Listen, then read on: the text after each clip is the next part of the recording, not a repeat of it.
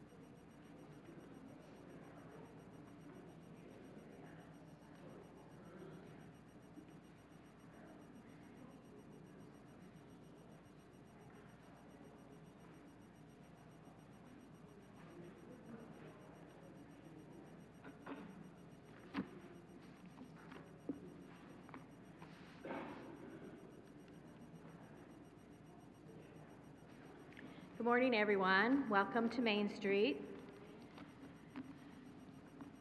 Uh, First of all, please take note of the many prayer concerns that are in your bulletin. Um, Lots of our friends, family, relatives need our prayers, so um, just please do that on your prayer list. There are birthdays this week. Sarah Lear on the 8th, Tom Patterson on the 9th, and Betty Smith. Um, Tom and Betty, the altar roses are in their honor of their 90th and over birthday. Um, Tom will be 99. Is that right? No, no, he'll be 101. Yes. There's also a note of the uh, passing of Lenora McQuinn and Jean Cassingham, who were both longtime members, and uh, just keep their families in your prayers as those two lovely ladies have left us.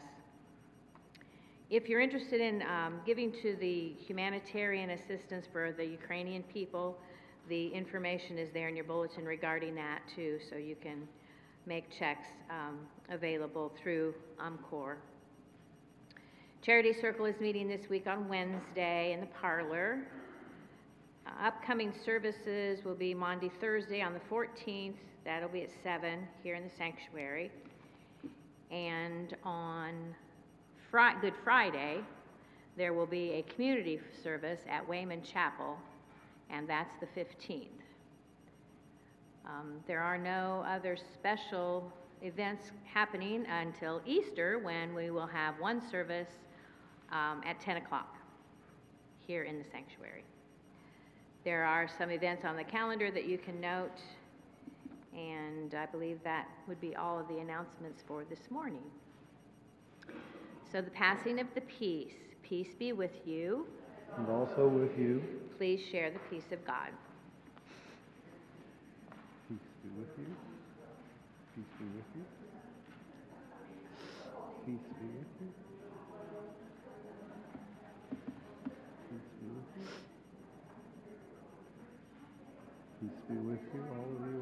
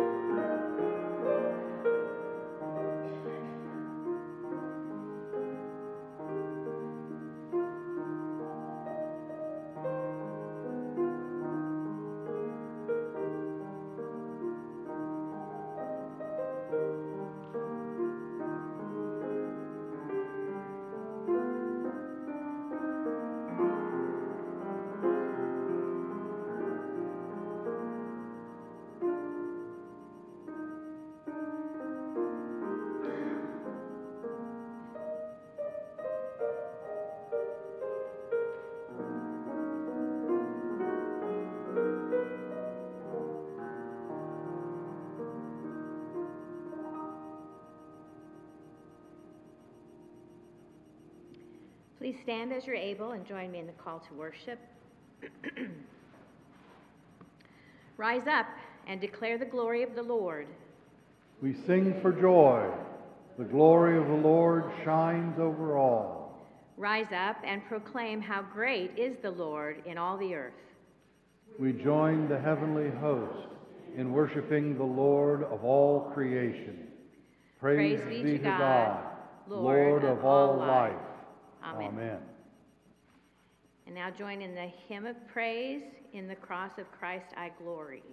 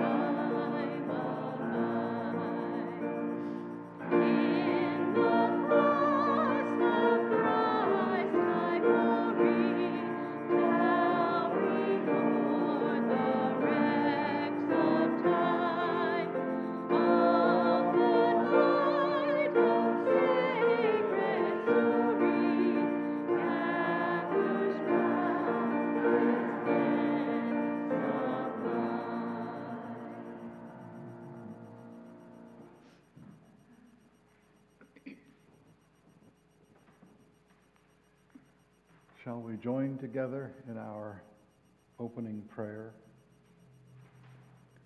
Lord of all, we bow before you. We come with humble hearts to this hour of worship. Fill us with your Holy Spirit. Let our hearts be united to do your will. May our service in your name be welcomed at your throne. Let it be worthy of your kingdom. Cause your people to live in peace with each other. May our warring come to an end. Let us be healed from the violence that afflicts us. Show forth your mighty hand to reveal the paths of life you would have us trod. May we be guided along them by the way of your Son. Let us not slip or waver in your righteous. Forgive us when we fail. Restore us when we are wounded. Encourage us when we doubt. Be in our midst this Lenten season and for all time. We ask these things in Jesus' sacred name. Amen. You may be seated. The lesson from the Old Testament today is from Isaiah 43, 16 through 21. Thus says the Lord, who makes a way in the sea, a path in the mighty waters, who brings forth chariot and horse, army and warrior. They lie down, they cannot rise. They are extinguished, quenched like a wick. Remember not the former things, nor consider the things of old. Behold, I am doing a new thing. Now it springs forth. Do you not perceive it? I will make a way in the wilderness and rivers in the desert. The wild beasts will honor me, the jackals and the ostriches. For I give water in the wilderness, rivers in the desert, to give drink to my chosen people, the people whom I formed for myself, that they might declare my praise. Holy words, holy wisdom. Thanks be to God. The New Testament lesson is from John 12, 1 through 8. Six days before the Passover, Jesus came to Bethany where Lazarus was, whom Jesus had raised from the dead. There they made him a supper. Martha served, and Lazarus was one of those at table with him. Mary took a pound of costly ointment of pure nard and anointed the feet of Jesus and wiped his feet with her hair. And the house was filled with the fragrance of the ointment. But Judas Iscariot, one of his disciples, he who was to betray him, said, Why was this ointment not sold for 300 denarii and given to the poor? This he said, not that he cared for the poor, but because he was a thief. And as he had the money box, he used to take what was put in it. Jesus said, Let her alone. Let her keep it for the day of my burial. The poor will always have you, but you will not always have me. This is the gospel of the risen Christ. Thanks be to God.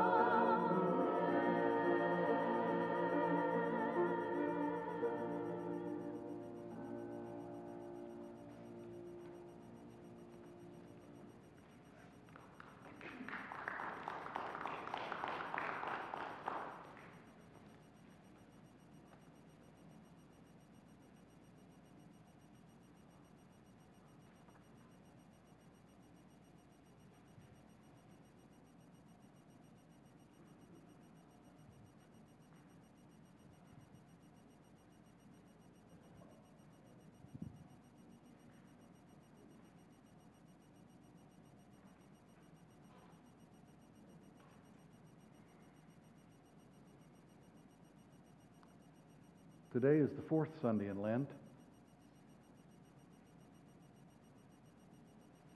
No. Today's the fifth Sunday in Lent. Yes, today's the fifth Sunday in Lent because next, oh gosh, next Sunday is Palm Sunday, and then Holy Week, and then Easter. We're getting that close. And just as preachers can forget what day it is, it might be uh, uh, it might be worthwhile simply to, to share again with you the brief flow of the Lenten journey that Jesus has been making.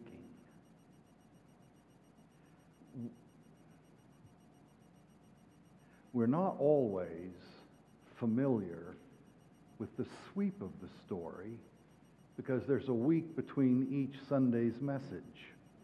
And we tend to go away with whatever was said in our hearts and minds, and by the time the chicken's gone or the popcorn's finished and bonanza's over, no, wait a minute, that's a long time ago. long time ago.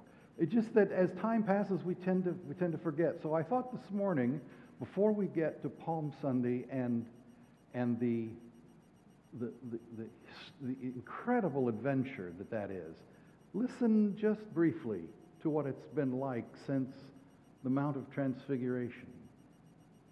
Jesus comes down off the Mount of Transfiguration having been for the second time announced by the voice from heaven, This is my beloved Son, with whom I am well pleased. But at the Transfiguration, these words are added Listen to him. Twice the voice has announced Jesus to be the Son of God. But not just the Son of God, the beloved Son of God. And it's interesting that in the Hebrew, the name David is the word for beloved.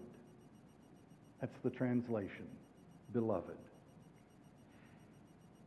And so, as a Jewish audience listens to these words, behold, this is my beloved Son, with whom I'm well pleased. This is my Davidic Son, with whom I am well pleased. And all of a sudden, they know from the house of David comes the Messiah. You see, there's some theological intertwining there, but there's also some historic reminding of the people. This Jesus who comes down off the mountain is the beloved Davidic Son of God. And when he gets down off the mountain, he says to them something they don't want to hear. Do you remember what he says? I must go to Jerusalem, and there I must be put to suffering, shame, death, and be raised on the third day. They don't want to hear that. None of them want to hear that. I mean, after all, you've just been in the presence of Moses and Elijah. You come down off the mountain full of glory, the Son of the living God, and you tell us you're going to die? No, no, no, no, no, no, no, no, no, no, no, no, no. And Jesus, remember, God said, listen to him. He is the one who will tell you the truth. On Ash Wednesday, we remind ourselves that we are dust. Dust thou art, dust thou shalt return. Repent, believe the gospel. Smudge of ashes in the form of a cross on our foreheads to remind us of our mortality. The first week, Jesus is in the wilderness, the place of, of, of, uh, of uh, uh, fear and trembling and unknown and danger. Um, in Jesus' day, there were bears in the wilderness. He meets the devil. And three times he's tempted, and three times he rejects those temptations. And each time it's because he already knows about the truth of not being fed by bread alone. He knows indeed that you shall not put the Lord your God to the test. And those kingdoms that Satan offers him, that the devil offers him, they already belong to Jesus.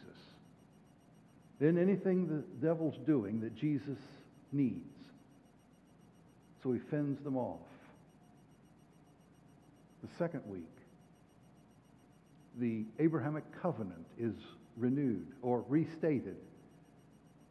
Abraham, remember, is worried that his heir will be either the slave child Ishmael or his far distant relation Eleazar of Damascus. God says to him, No, again, no, no, no. You will have your own son. You will have your own heir, and I will make of you a great nation. Well, fine and dandy. But then we have this uh, uh,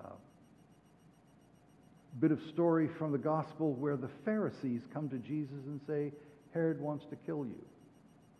Again, we see the difference between what the earthly rulers want and what Jesus wants. And what does Jesus want in that story? Would that I could hover over you, bring you in like the mother hen.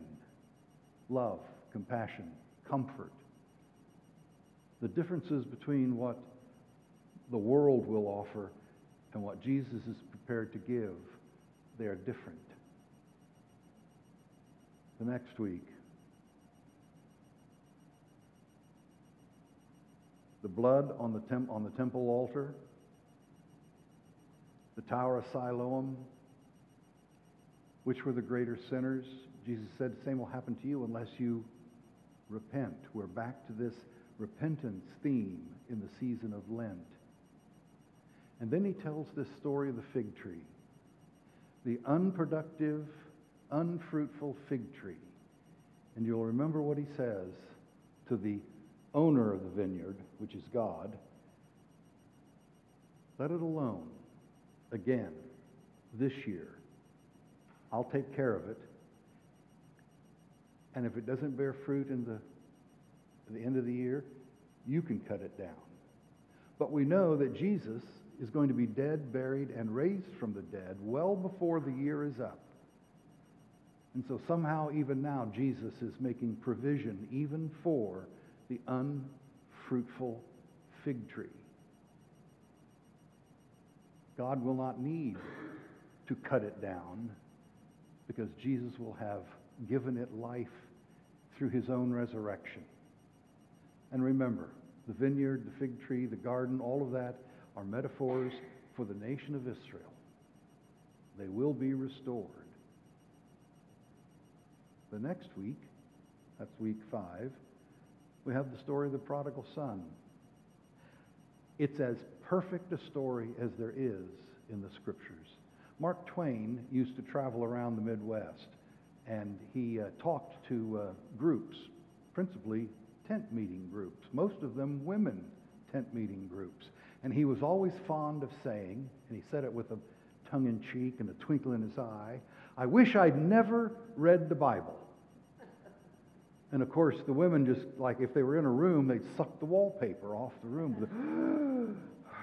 and then he would add, so that I could read all over again the story of the prodigal son for the first time. He wanted that joy of hearing that story again. And if you think the story of the prodigal son is only about good news, you haven't read the story. There's death hovering over it in every place, in every verse nearly. What do you have to do to get an inheritance? Somebody has to die. And that's what the second son asks his father to do, essentially. Because doesn't he want his share of the inheritance? Well, the only way he can get it is if the dad dies. Well, it's a metaphor. It's a, it's a way of saying to us that the father is prepared to give the son what is his at the cost of his own life. And then the son takes that money, and what does he do with it? He lives the life of death. He tends swine. He, he's not even fit to be a servant out there in the world. And he squanders everything. He comes home, and what does the father do? Upon seeing the son, what does the father do? Runs to get him. Do you know why he runs to meet him? No, not, well, yes, but not, that's not the principal reason he does it. It's within that love that he does this running to him because we're not Jews. We don't know the law. Let me remind you of Deuteronomy chapter 21, verses 18, 19, 20, and 21. Did you know that it was lawful for the town folk to stone to death the son that shames or embarrasses his father? And that's what the second son has done. And so the father running to meet him saves his life because if the boy gets to town, what can the town folk do to him? They can kill him. And so the father runs to him, gets him before he gets into town, gives him a ring, which means he's now wealthy, gives him shoes on his feet, which means he's no slave in this house. But the most important thing he gives him is the best robe, we're told, the best robe. And in any Jewish house, that is the prayer shawl. And what does the prayer shawl allow a man to do? Attend the synagogue and be a part of the prayers that are offered there. And who will be praying with this son now wearing the best robe? Those very people who would have stoned him to death. What has the Father done? He has made it impossible for the people to do what the law permits. Would that that could happen in other places, in other generations across the globe. In any case, the Father doesn't stop there. What's the next thing the Father does? He throws a feast, he throws a party. And what gets slaughtered? More death, more death. Standing there waiting, the only thing it's going to do in life is die. Now, how big is a fatted calf? Seven, eight hundred pounds, maybe? How many people can you feed, even with the dressed out 800, 900 pound steer? Three and a half thousand people, maybe? Because you got the macaroni and cheese and the, and the green bean salad and, and everything. You got all the rest of that stuff there. But you could feed the entire town with the food from that fatted calf. Now, what do you know about the reciprocity laws in Israel? The obligations.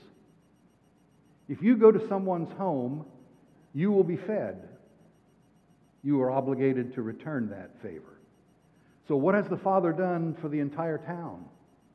He has obligated each and every one of them to invite him and his son to dinner.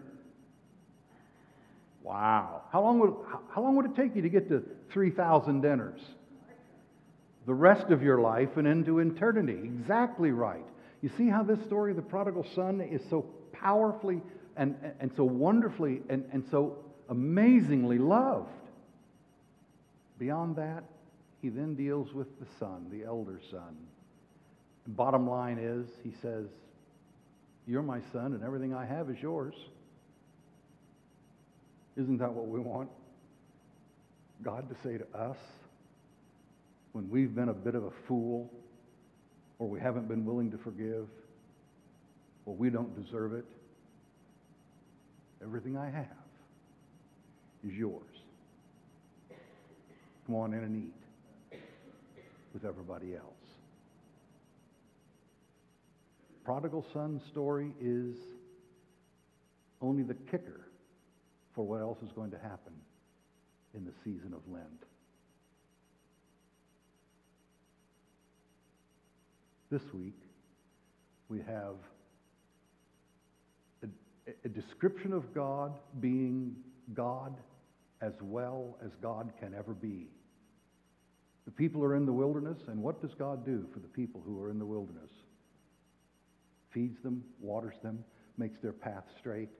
That text from Isaiah tells us that God will do whatever it takes to save the people that have been formed for Him, for His own pleasure.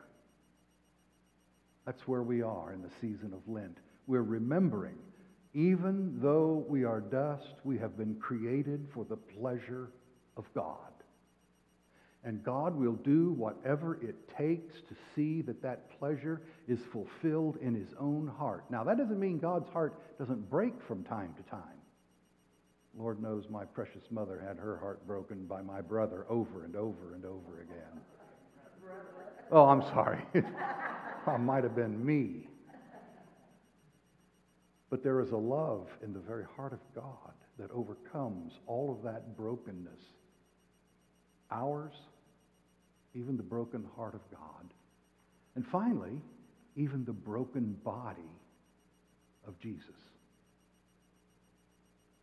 Now, about Judas and Mary, or is it Martha? Who fixes the meal? So Mary is the one who pours out the ointment on Jesus' feet and wash and washes and and and rubs it in with her hair. You got that? I've been around women who smell pretty good. When Julia wears that special perfume, I just can't think of anything else but her. Can you imagine this woman in the next days walking around town having the aroma of that pure ointment in her hair? And what does Jesus say to Judas and the others who think that, excuse me, very, very expensive oil should have been sold and given to the poor? What does he say? You, the poor you have with you always. But this is what he says. Then he said, Not that he cared for the poor, but because he was a thief, and he had taken the money in the money box and used it to take what was put into it. And Jesus said, Let her alone. Let her keep it for the day of my burial. The poor you always have with you, but you do not always have me. Too often, that text suggests, or it is made for us to believe, that we don't have to care for the poor. They'll always be there. We can take care of them anytime, anytime, anytime. But I think Jesus says it to say to us if you think you ever get to the end of your Christian witness, you're wrong. Because the poor you always have with you.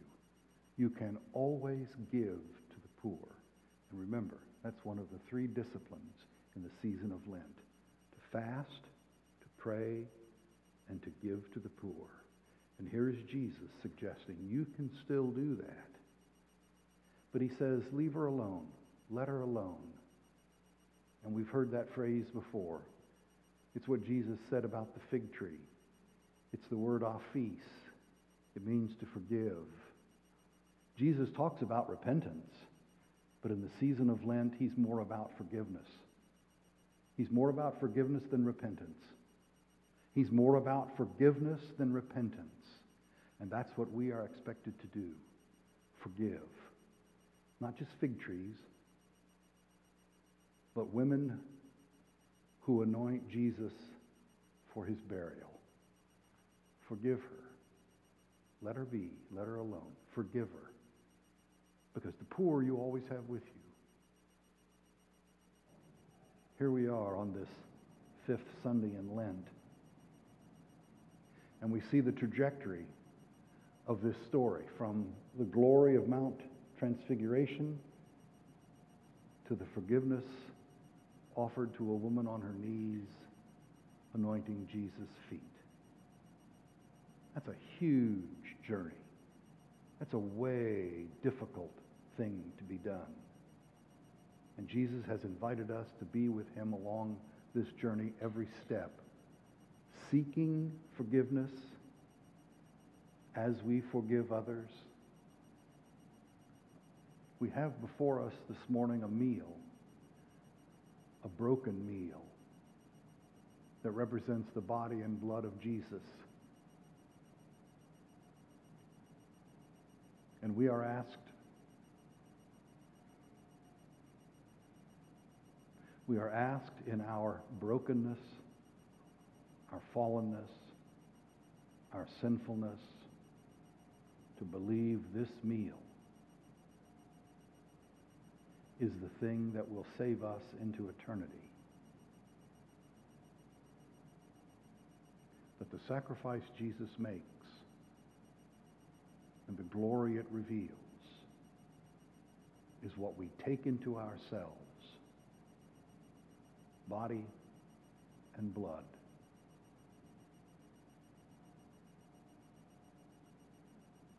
I invite you to prepare your hearts for this very thing on this fifth Sunday in Lent.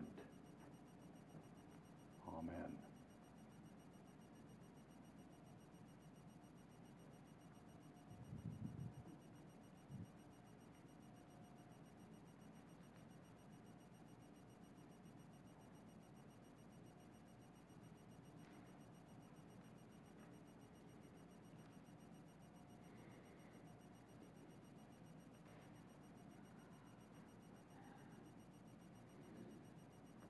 The Lord be with you.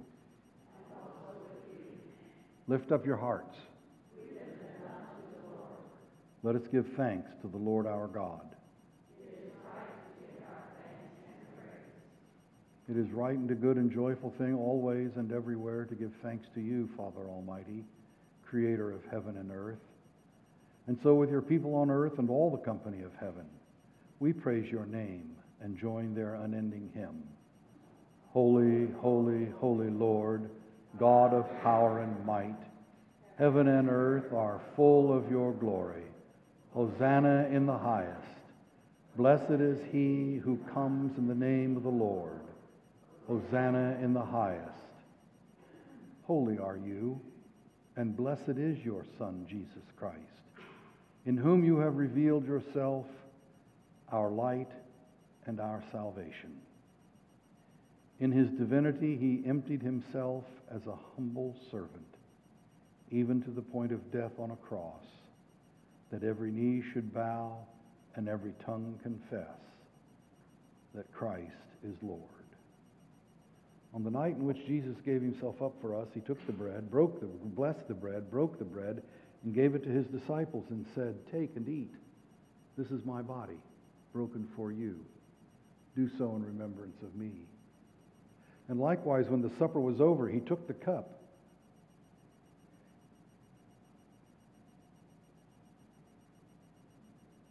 And declared, This is my blood poured out for you and for many for the forgiveness of sin. Take and drink and do so in remembrance of me. So I invite you, take the bread.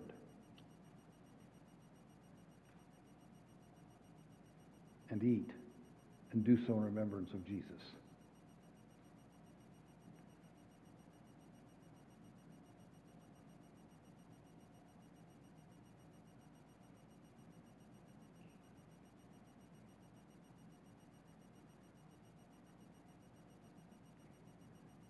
Likewise, take the cup and drink and believe that this is the blood of Christ.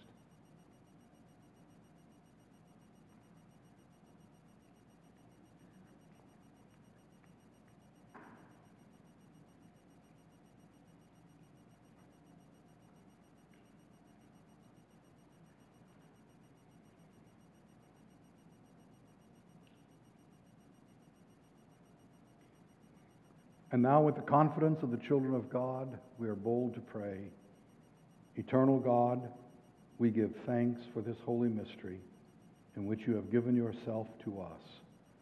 Grant that we may go into the world in the strength of your Spirit to give ourselves for others. In the name of Jesus Christ our Lord. Amen.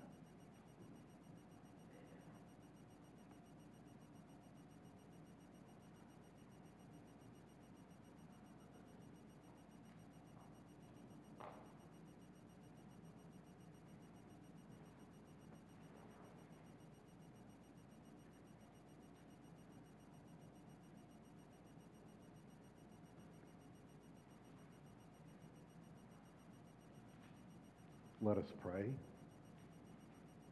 Our Father, who art in heaven, hallowed be thy name. Thy kingdom come, thy will be done on earth as it is in heaven. Give us this day our daily bread, and forgive us our trespasses, as we forgive those who trespass against us. And lead us not into temptation, but deliver us from evil. For thine is the kingdom, and the power, and the glory forever. Amen. And though a thing or two has been out of order, shall we stand together and join in singing the closing hymn?